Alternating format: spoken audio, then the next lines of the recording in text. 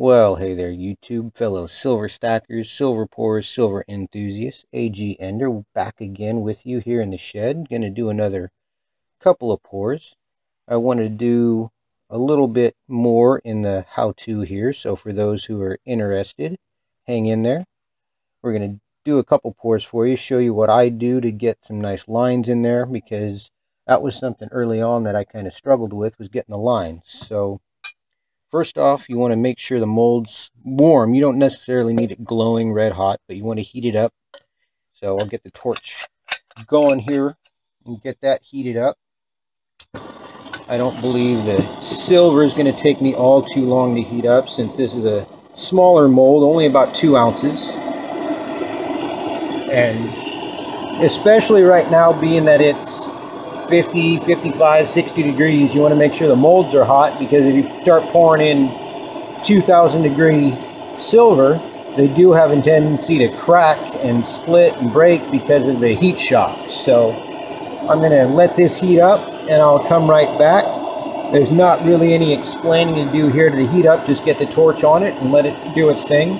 Again, you don't necessarily need it glowing hot, but you can get it pretty much as hot as you like. So we'll let that heat up. We'll get some silver heated up and come right back.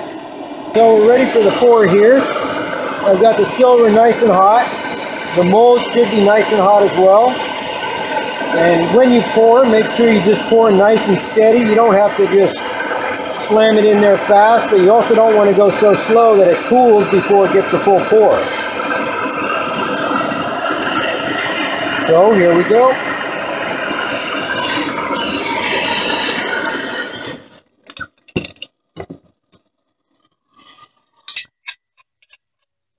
Now this one, it's got a little bit of extra flux there on top. I don't always like to do that. Most of the time it polishes off just fine. And you can see the lines I got on it with the torch sitting on it like it was. Put that in the water. Now there's a couple ways to make the lines. That's one way. Another way is you can shake or tap on the mold like so as it's cooling. The problem is I'm not quite set up to where I can do that. That's a lot easier to do when you have an electric furnace. Zoom back out. Turn the light back on.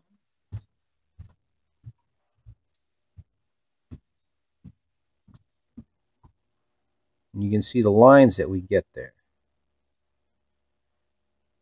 Now I'm going to do one here where I don't use the torch, at least not one sitting on it, because you can also use the torch in your hand if you're using a torch, and that can get your lines in there as well. So let me heat up the silver and come right back. Okay, we got the silver ready to go here.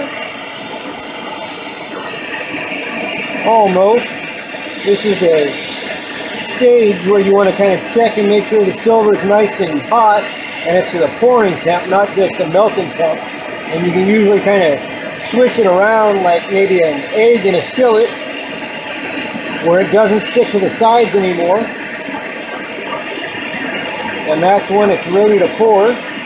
So here's the other way I use to get lines in it with the torch that's in my hand.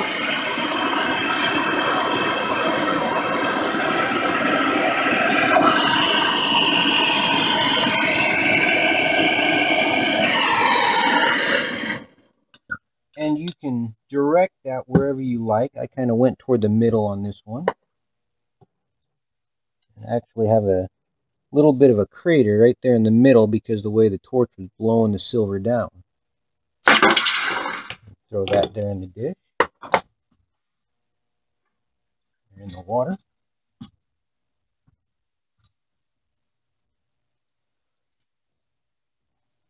And here's how this one turned out.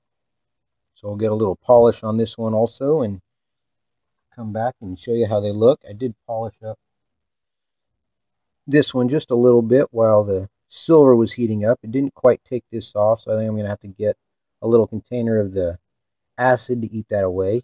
And I'll give you a, an idea on how long something like that takes. Sometimes it takes longer, sometimes not as long. It all depends on how thick that layer of flux is there on top. So I will see you in a moment.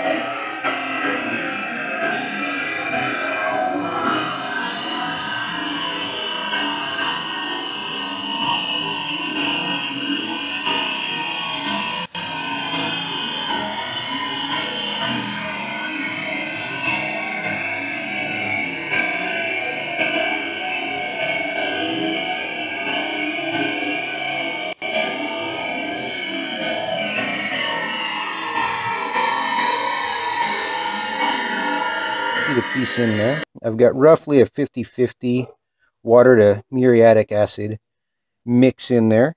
It's 318 right now, so we will see how long it takes to eat away that film that's on top. Set this aside out of the way, and I will come right back. It does show it was a fairly thin layer. It is done, and it's nine minutes later. And this is an acid you can touch. You will notice, of course, if you have any nicks or cuts, it will sting a bit. But make sure you get the water. You just rinse it off.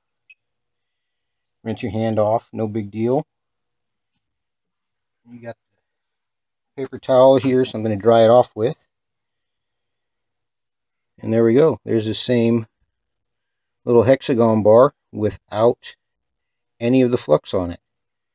I've had other ones that have taken an hour, two hours to eat it all off because it's pretty thick. Um, sometimes you can see where it was. There's a little mark that it leaves, especially if they're like drops, how they form. If they're little round beads, those tend to leave a little indent where it eats away. So there's that. I will come right back and show you what I do in the way of stamping. Here's the first one that had the film on it. I've got it set for troy ounces. And we come out two dead on, two ounces. So here on the back side, I like to find whatever's the biggest spot because my logo stamp is fairly large. And it looks like here on this bottom side, how I have it set up right now, that's the best spot to throw the stamp it still could give me a little bit of trouble. Actually, I think I'm going to turn it around and do it on this, this side.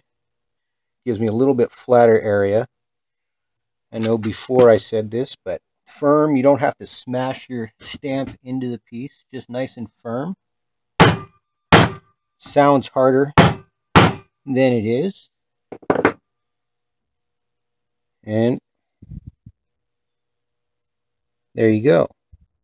It's a little tough to see with the way the bubbles are, but it is in there. It got the full, full stamp. All the letters are visible. So then you decide where you want to put the numbers.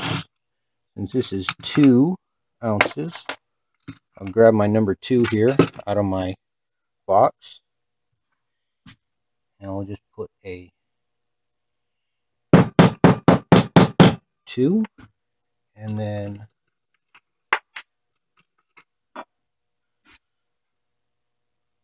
Oh. find my Z. And if you need to, have yourself a block of wood or something so you can test and make sure you've got the mold the right, or the stamp the right direction. You don't always pick it up in the right direction. I've had plenty of times where I've had a number or letter upside down and then that kind of screws up the entire piece that you just did and you've got to re-pour it. So there's that. And then my 999 stamp.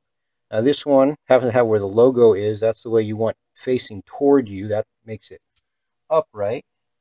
Find a spot for that, for the 999, depending on how big yours is. One nice firm smack there. And there it is. So I'll get this polished and you polish the backside a little bit and that fills in the letters. It's called rouging, I do believe. So you can see the letters so they stand out a little bit better. We'll take a look here at the other one. See what it weighs out to. Wait for the scale to turn on. and then set it to Troy ounces again. And that one there left a little bit in the dish, I guess, or just lost some, but we're at 1.98 ounces on this one. And this one, I got a lot smoother here on this side, so it doesn't quite matter where the stamp goes here. So we'll do this here, nice and firm again. A couple of times. And it all shows up there. The glare makes it a little tough to see, but there you go. And here we go. Here's all the stamping done. So I'll come right back and show you how everything looks polished and cleaned up and ready to possibly move on to a new home. So hang tight and I'll see you in a moment. They are polished up. You can kind of see here around this edge where that film was, but it looks good still. And of course this side with the lettering, numbering, and the weight, the stamping, all shows up nice and clear. And this one got even rounder lines and a nice shiny crater there right in the middle. It all takes a little playing with and get the effect that you want in each bar. But that's just how I do it, how I go about it. Others have their own ways. So make of it what you will. Hopefully this does help somebody out there. And you can get to pouring as well. So hang in there. Don't get frustrated. It will take a little time to get the hang of it. You'll re-pour pieces plenty of times. So just have fun with it. That's all I can really say. So until next time, the AG Ender signing off. Thank you all for the likes, shares, comments, subscriptions. It's all greatly appreciated. I will see you all next time. Have a good night.